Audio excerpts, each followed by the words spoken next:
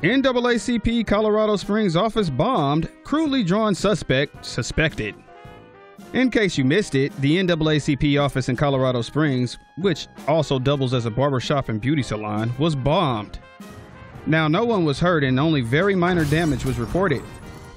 The FBI wasted no time in interviewing eyewitnesses and through those statements were able to put together a composite of the suspect who is still at large.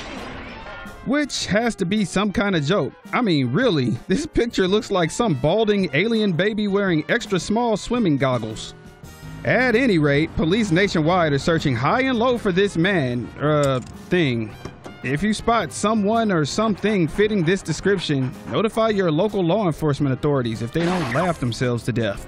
Man, I'll be so glad when this recession is over so the FBI can hire back the real sketch artists. TomoNews.net is throwing $100 bills of the 20 funniest comments on our website every month, only at TomoNews.net.